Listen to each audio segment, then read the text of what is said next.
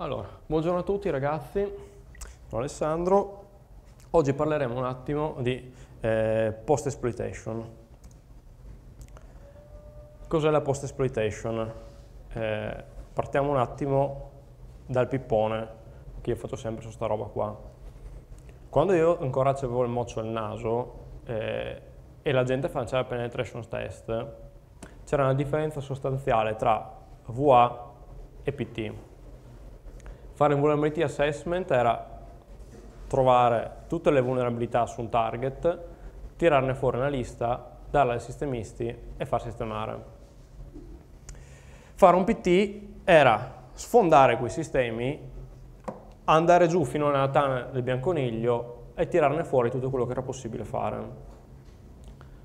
Al giorno d'oggi i nostri cari commerciali hanno trasformato l'andare giù fino alla tana del coniglio in un'altra cosa che si chiama red teaming o adversary simulation e il PT di solito si ferma a ti ho sfondato la singola macchina, non ti sfondo l'azienda in toto fino ad arrivare alla casella dell'amministratore delegato, per dire. Tutta questa parte qua di quello che faccio dopo che ho sfondato un sistema, quindi ci entro nel sistema, faccio privilege escalation, guadagno privilegi di system o di root e faccio altre cose, questa si chiama post exploitation, tutto quello che viene fatto dopo l'exploitation, che è solo l'inizio, perché diventare root o system su una macchina quindi acquisire i massimi privilegi di una macchina è solo l'inizio.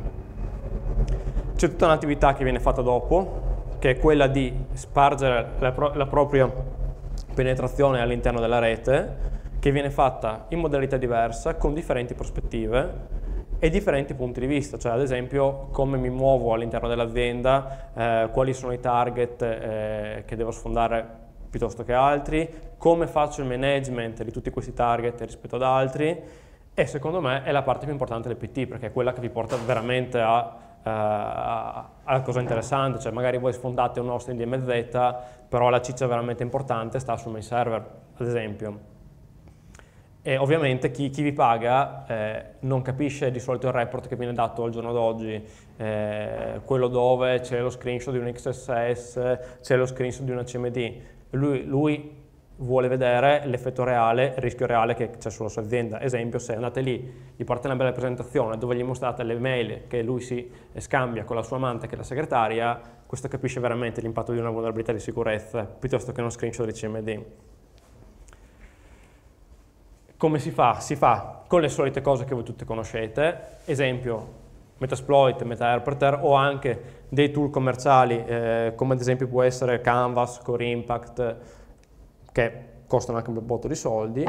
Eh, Interpreter che tutti voi conoscete fa una cosa molto semplice, eh, carica uno stager in memoria, fa l'injection DNLL e stabilisce un canale cifrato TLS eh, con la vostra console e potete caricare delle estensioni per fare un po' tutto. C'è anche delle piccole estensioni per la post exploitation, ad esempio quello per, per l'hash dump, per il dump dei token, è un, tool, è un tool che credo usate un po' tutti, almeno chi di voi fa PT, ed è carissimo, è, cari è carinissimo, insomma, bello.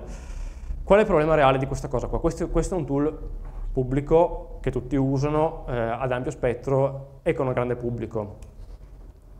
Però eh, dov'è il vostro Dio in un ambient enterprise? Dove le tecnologie di sicurezza che uno potrebbe avere in casa sono quelle. Vari tipi di strumenti di sicurezza che monitorano quello che voi fate a vari livelli, dal livello network al livello endpoint, e appena gli caricate una roba conosciuta, la rete del SOC di questa azienda si illumina uh, come Natale. Okay? Per cui qual è il messaggio? Come voi lo sapete benissimo, la sicurezza informatica è una corsa alle armi. Okay?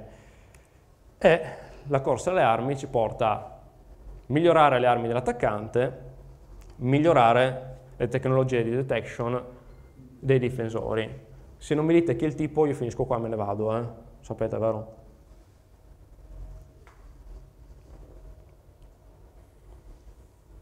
No, eh? Cioè, io attacco carica batterie, però tra un po'... Cioè. E che cavolo. Intanto pensateci. Che è? E che cacchio, cioè, se no me ne andavo, giuro che me ne andavo. Okay. Infatti, come Tony Stark, eh, c'è gente che non fa PT commerciali, c'è gente che fa PT per interessi strategici.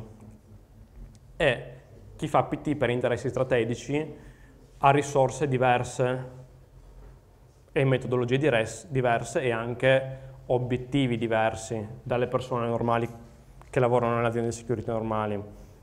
Probabilmente hanno anche tool, come ci suggerisce il nostro generale Mike Roders, diversi.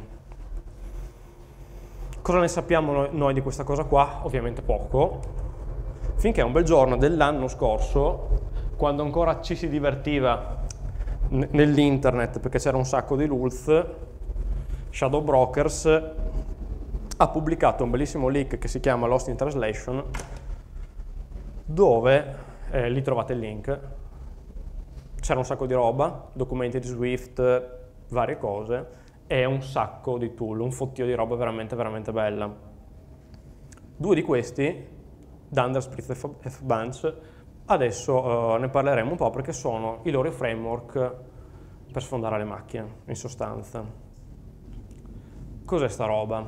Allora, FatBunch è l'analogo di Metasploit, praticamente una roba da command line per lanciare exploit. Dunderspritz, secondo me invece è il tool più carino che hanno, è un framework di post-exploitation, cioè quello a cui viene passato controllo dopo. È una GUI scritta in Java, n moduli, veramente tanti, scritti un po' in Python e un po' in un custom eh, linguaggio di scripting che hanno loro, ed è disegnato per fare operazioni di penetrazione strategiche e tattiche, quindi totalmente diverse da quello che, che siamo abituati noi. E se voi vi guardate bene tutti, tutti, i file del leak, ne trovate alcuni con un changelog e delle date abbastanza vecchiotte. Il più vecchio è del 2001. Praticamente loro hanno avuto tre versioni diverse di framework, tre scritture diverse. Il più vecchio è del 2001, quindi è una, è una roba ben consolidata. Chi si ricorda in che anno Age di Moore ha rilasciato il primo Metasploit pubblico che era scritto in Perl all'epoca? 2004, tanto per capirsi. Questi in 2001 già c'avevano sta roba. Ok?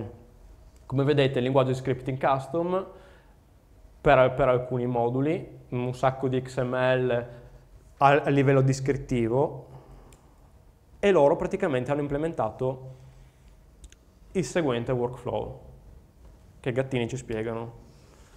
Loro tramite FastBunch, Exploitation Framework, si caricano i loro exploit, che per la maggior parte della roba che hanno e che era qua dentro erano tutti zero day, cioè praticamente dalla pubblicazione di questo leak qua eh, credo c'erano più di una quarantina di vulnerabilità zero day, tra cui quella di WannaCry. Quindi esploitano il target, sul target caricano double pulsar, che è un payload eh, componibile, multi-architettura, totalmente in memory, estremamente reliable, fatto per funzionare sempre, che a sua volta carica l'impianto, ad esempio vedi l'injection come fosse Interpreter, in memoria, per fare le vostre cose. Subito dopo viene passato il controllo ad Underspritz, che è il framework di management della vostra compromissione da cui voi fate le cose in maniera interattiva, in maniera GUI.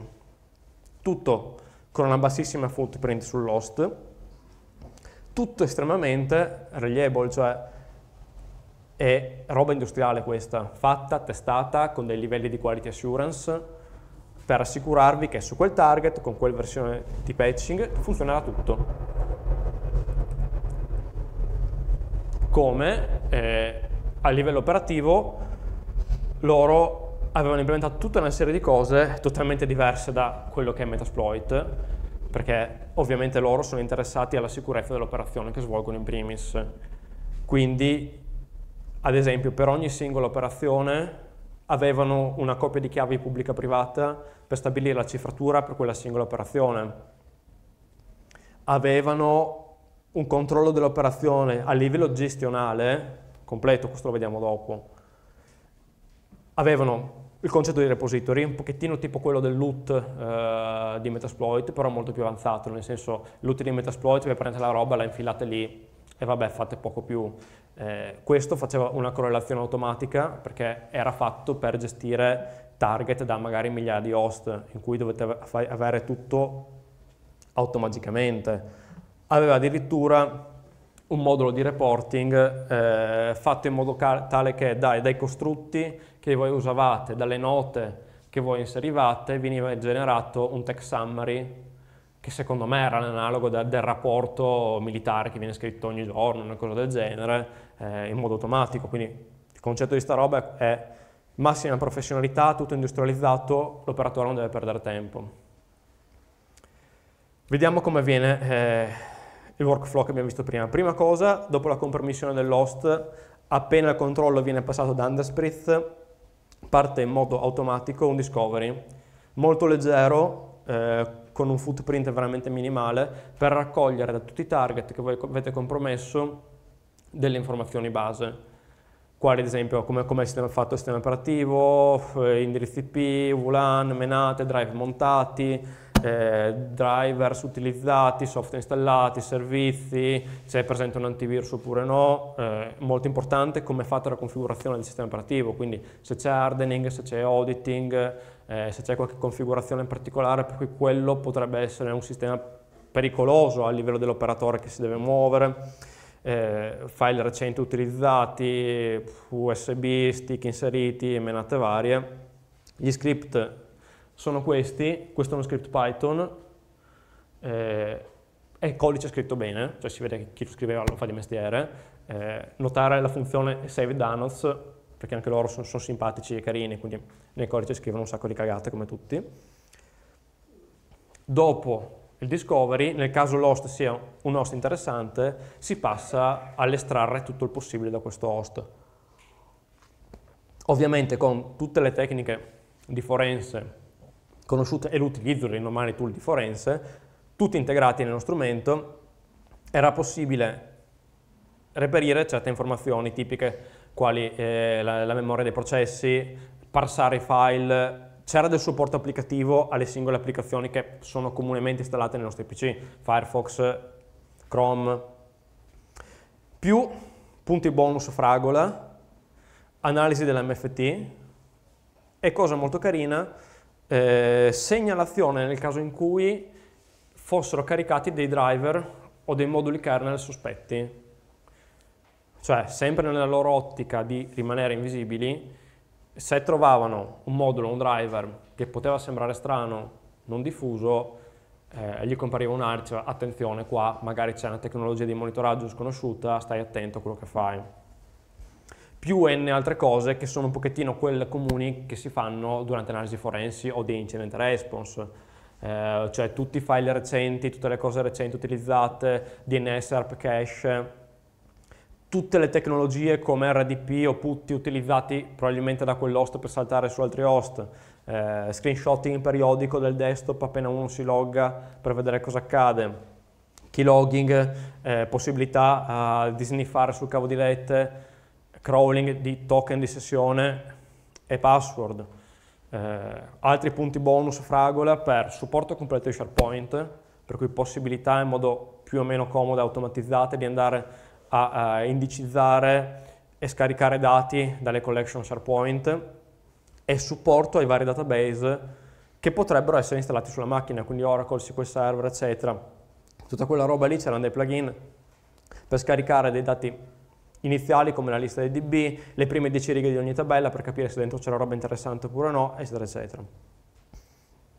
Quindi abbiamo capito cosa c'è sull'host, step dopo vado a disabilitare le misure di sicurezza. C'è un supporto praticamente per tutti i PSP dell'epoca, sia antivirus che EDR. E ovviamente tramite gli XML che, che c'erano sotto avevano tutte delle, delle regexp per andare a capire cosa stava girando sulla macchina. Sopra sono gli script, come vedete, ci sono script EPS, roba custom, eh, ci sono script Perl, eh, sotto c'è un XML, c'è un altri Python, tecnologie varie, c'è veramente tanta roba qua dentro.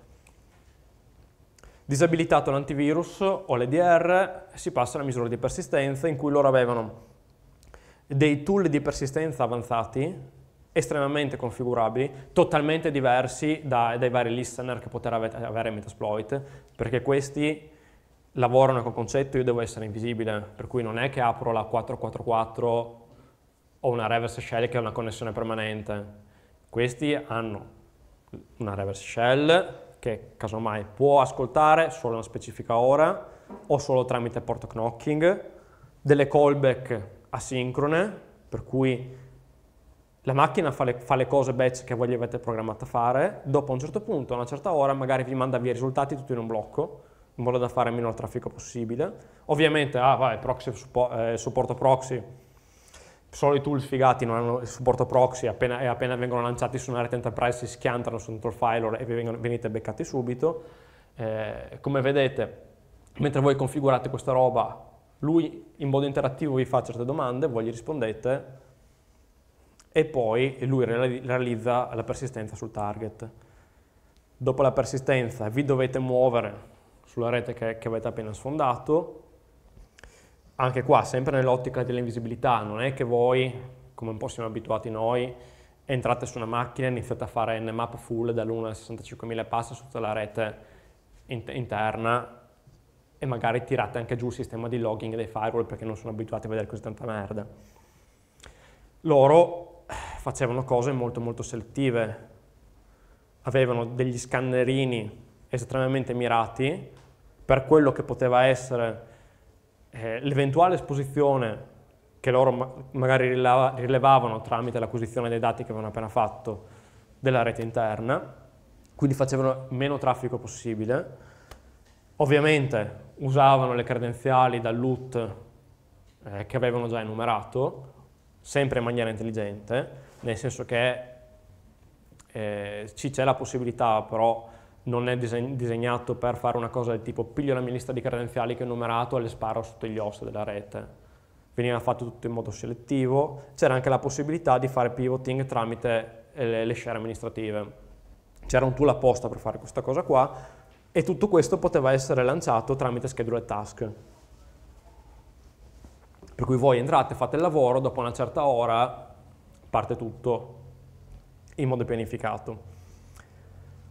Tutto quello che vi ho mostrato sta sotto un concetto bellissimo che si chiama quello di safety handler. Cioè lo sa bene chi, è, chi ha fatto pentest in un team. Magari c'è la figura senior che ne sa pacchi, perché scrive exploit da 20 anni, però c'è anche il junior appena arrivato, che voi lo mettete a fare un PT e magari fa cose che non dovrebbe fare, magari vi spegne la macchina target perché ha sbagliato, credeva di essere sulla sua e va spento il server del cliente. Capita. Se fate un'operazione tattica, queste cose non devono succedere, punto. Per cui loro hanno, hanno creato questo concetto di safety handler per fare in modo che gli imbecilli non lo siano poi così tanto. Cioè, ci sono dei costrutti selezionabili dal manager de dell'operazione per dare dei privilegi tramite una specie di ACL agli operatori che ci lavorano. Cioè, quell'operatore lì può, ad esempio, inserire una chiave nel registro, può uh, iniettare delle DLL, può droppare un file su file system, perché di lui mi fido, so quello che deve fare. Gli altri non lo possono fare e così eh, si mettevano in sicurezza la loro operazione, addirittura da loro stessi, quindi tanto per dire il livello di sofisticatezza di questi tool qua. Esempio di safety handler, vedete, allora, Python, XML, eh, script custom, Qua, ad esempio, eh, per disabilitare Kaspersky eh, bisogna andare a toccare il registro, lì c'è uno specifico costrutto che richiede un privilegio particolare per andare a toccare il registro. Non solo, eh, ci sono dei costrutti particolari, ad esempio per controllare il load della CPU. Certe operazioni potrebbero portare sul load della CPU, non solo ci vuole un privilegio per farle, ma il load della CPU è costantemente monitorato, come anche l'utilizzo della memoria, eccetera. Quindi, tanta roba. Come potete giocare con tutto questo? perché immagino che ho fatto eh, ingolosire, c'è un sacco di altra roba, purtroppo in 20 minuti scarsi non ve la posso raccontare tutta, questo è un leak da n mila file, un quintale di roba, per cui va veramente vista e provata. Per provarla, un ragazzo si è messo con un sacco di pazienza, ha fatto un progettino di GitHub bellissimo che vi permette di creare un laboratorio per giocare a questa roba. Quindi, tramite Packer e Vagrant ha fatto uno scrippettino che voi in tre comandi netti lanciate nel vostro sistema, lui si collega, scarica le ISO di Windows Evaluation eh, 2008 di Windows 7, ve le scarica, ci fa girare tutto lo scripting, crea un controller di dominio, una macchina target vulnerabile e una macchina Windows 10 su cui installa Dunderspritz con cui voi ci potete giocare. Quindi vi realizza quello che c'è sotto, una mini LAN target di un DC e un target e la vostra VM con Dundersplit dove potete giocare. Questo è veramente bellissimo, purtroppo che c'è una sola pecca, eh, Windows 7 sul sito Microsoft non c'è più, lui non ha mai aggiornato gli script perché sono vecchi di un anno e passa, per cui vi dovete un attimo mettere voi a manella a sistemare lo script, è una roba veramente da poco. Vi scaricate la ISO di Windows 7 a mano e modificate lo script per puntare a quella, facile facile. Giocateci se avete tempo, eh, perché è veramente bello. Vi richiede 20 GB di RAM, sì, di memoria e 12 di RAM, credo. È un, bel, un bel giochino. Da tutto ciò, al di là della figaggine di questo tool, perché tanto adesso il tool è, licato, per cui è tutto bruciato, ok? Viene rilevato da ogni tecnologia di sicurezza che uno può avere, loro avranno iniziato a lavorare su altra roba, non lo so. Però cosa abbiamo imparato? Che loro hanno delle pratiche dovute alla disponibilità di risorse che loro hanno, alla sensibilità dei target eh, che devono sfondare, alla modalità tattica e operativa che usano, totalmente diverse, che ci lasciano dei suggerimenti. Prima fra tutti, quando facciamo queste cose, non rallentiamo la macchina loro facevano un controllo estremamente granulare del load dei sistemi per essere sicuri che nessuno si accorgesse di niente. Limitavano e diluivano il traffico di rete, perché ovviamente se voi, eh, che ne so, durante il PT, fondate una macchina dovete portare via un dump di un dB di 100 giga, quella è una macchina che di traffico ne faceva magari 100 mega al giorno verso internet, 100 giga è diventata il primo top talker nel report del giorno dopo, i sistemisti dicono cosa sta succedendo. Loro non droppavano quasi mai files, cioè quasi tutto quello che era tecnologicamente possibile far girare in memoria, facevano girare in memoria. Per droppare files ci voleva un safety handler con il permesso del manager. Tutto era cifrato, tutto possibile, con chiavi singole specifiche, stavano sul target il meno possibile, perché voi tramite Dundersplit preparate l'operazione, eh, preparate i comandi, poi fate play, quando volete, o anche lo schedulate, e insomma facevano tutto il possibile per rimanere invisibili. Esempiucci di sta roba, allora a sinistra c'era la possibilità di fare il throttling del traffico di rete, quindi praticamente qua questo è l'XML descrittivo, loro tutti i plugin li descrivevano con degli XML, byte per second, file throttling del traffico in uscita da quel plugin. Poi sotto eh, c'è Keep Alive, perché questo è un comando, vedete, vi dice exploit is estimated to take this long, quindi se l'exploiting va lungo c'è Keep Alive per vedere se il sistema è ancora su, tutto in modo automatico. Sopra, eh, ultime tre righe, monitoring di spazio disponibile, memoria RAM. Quindi alla fine il mondo vero è diverso perché lavora su una prospettiva totalmente diversa. C'è un sacco di roba privata che gira, perché vi assicuro scrivere tutto questo codice è un'impresa terribile, che è probabilmente stata fatta non dalle persone di sicurezza, ma da sviluppatori di professione che lavoravano fianco a fianco con le persone di sicurezza. Infatti se poi guardate il codice, alla fine è codice pulito. Trovate qualche easter egg, ma è pulito, cioè scritto da professionisti. E non conta soltanto l'attività tecnica, ma conta anche management. Questi facevano un sacco di management, cioè la gran parte del tool serve a gestire l'operazione, non a farla, a gestire eh, la propagazione, a gestire gli stessi operatori dell'operazione. Per cui alla fine, secondo me, le, le TAO, cioè quelle che sono operazioni tattiche fatte da nazioni verso obiettivi strategici, che può essere qualsiasi cosa, per quello che intendiamo noi sono totalmente invisibili a un blue team. Nel senso che la footprint è minimale. Eh, fatta l'operazione c'erano anche tutta una serie di plugin per pulire e ovviamente in modo selettivo, cioè non è che eh, pulire voleva dire cancellare i log, perché se entrate in una macchina dove il log è vuoto, già qualcosa che non va, cioè loro facevano tutto in modo selettivo, le linee di log generate da loro venivano cancellate, solo quelle e soltanto quelle. Per cui un pochettino eh, un altro mondo che di solito chi fa PT normalmente non è abituato eh, non solo a vedere, perché questo ovviamente è un mondo invisibile, ma a pensare. Cioè chi fa PT nel mondo commerciale pensa di essere il dio in terra, cioè io arrivo lì, prendo il metasploit, sfondo il cliente, che tanto comunque sbracato con le braghe calate, quindi sono il più figo del mondo, cioè il tool più figo del mondo, uso Metasploit, ho visto tutorial, l'ho applicato, eh, questo è un mondo totalmente differente. Anzi, probabilmente sono loro che, che ridono quando vedono noi che, che, andiamo alle conferenze a parlare di Metasploit o di qualsiasi altra cosa. E secondo me è importante saperlo e eh, un attimo abbassare le ali e capire che si può fare ancora di più. Okay? E probabilmente quello che viene fatto di più nel mondo, non, non solo da operatori tipo nation state, ma anche da enti privati, perché poi alla fine le, le aziende quelle serie che fanno PT in modo serio, tool, i tool non è che li pubblicano, se li tengono privati. È totalmente diverso.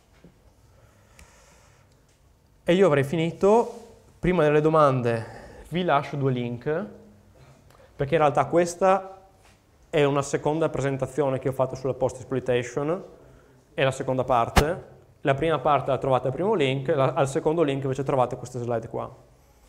Se avete domande, vai. Beh, intanto io bevo. Ti è capitato di trovare qualche pezzo di questi di cui ci hai parlato in giro di qualcuno che magari li aveva preso un po' e li aveva messi in produzione? In che senso li aveva messi in produzione? Cioè che magari durante qualche analisi che hai fatto hai trovato che qualcuno aveva già messo una zampa dentro utilizzando versioni allora, modificate di, questo, di questo leak qua, siccome teneva tipo più di 40 zero day, ha generato tutta una serie di cose. Esempio WannaCry, perché c'erano qua dentro almeno tre exploit, quello per V1 e altri due per SMB, piatti piatti brutali per cui ha generato tutta una serie di cose. Che sappia io, eh, subito dopo il leak nessuno ha pubblicato affermazioni del tipo abbiamo trovato eh, questi IOC per dire sui nostri sistemi. Okay? Anche perché comunque ricordate che il leak è avvenuto l'anno scorso, però qua dentro non è che il tool è aggiornato a sei mesi prima, è roba più vecchia okay? per cui probabilmente nell'immediato gli iOS erano, sarebbero stati totalmente diversi. Probabilmente questa qua è, è, ma- magari anche una versione vecchia, nel senso che nel momento del leak l'anno scorso il, la versione del framework che usavano non era questa, era un'altra con un altro nome. Okay. Io, che sappia io, nessuno ha pubblicato nulla a dire, oddio Dio, io sì, io, io ero. No, perché tanto questi, uno, lavorano in modalità estremamente silente e invisibile. Prendono, fanno, cancellano, chiudono tutto. non è che stanno lì, hanno un obiettivo, una flag, secondo me, e loro, presa la loro flag, non rimangono più di tanto sui sistemi, magari una backdoorina o un modo di entrare se lo lasciano, però di certo non, non, non facete parte di questo framework qua. Cioè, e se avete visto quella tipo tag cloud che c'era prima, ognuno di quei nomi lì era un progetto che era incluso in questo leak qua. Okay? Ed erano tutti dei progetti per una categoria di operatività estremamente limitata, che non solo era pentesting, ma era ancora più specifica, era, era exploitation e post-exploitation. Okay? Per cui per così poco hanno liccato così tanto. Chissà per il resto. Altre domande? Domanda. Al di là della fase di impianto, della fase di impianto che basandosi su Eternal Blue diciamo, sfruttava benissimo SMB1, c'erano altre piattaforme, altri sistemi operativi oggetto del, dell'impianto oppure Microsoft allora, era l'unico? La piattaforma, eh, cioè il framework, era multipiattaforma. Negli exploit contenuti nel, nel leak c'erano esploit anche per altre tecnologie, magari non, non come eh, Eternal Blue, però c'erano esploit anche per altre tecnologie. La piattaforma è fatta in un modo multipiattaforma, per cui lì secondo me eh, sarebbe stupido dire che non avevano per altre piattaforme, perché ce l'hanno quelli commerciali, cioè se voi comprate Core Impact o Canvas, avete exploit che vanno dai vecchi Unix alle vecchie Solaris, anche le nuove Solaris. Se voi comprate qualsiasi pack di exploit che viene venduto su internet, c'è un po' di tutto. Per cui sarebbe veramente ridicolo dire che non c'era roba per altri sistemi operativi. Magari non, non, non come quella che ha portato WannaCry. Ok? Eh, grazie. Grazie.